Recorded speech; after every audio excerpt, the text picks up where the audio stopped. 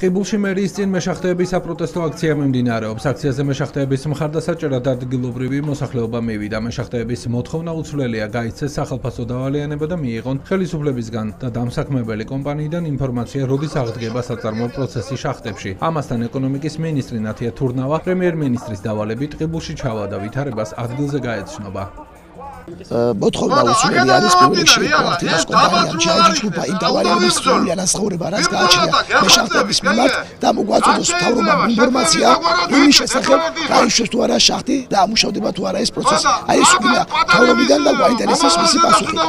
რაც შეეხება ხევადელ პრემიერის განცხადებას? ჩვენ მე შეხტები მენდობით მას და პირველ რიგში მინდა გადაუხადო მადლობა რომ გამოეხმაურა ტყიბულის ამბავს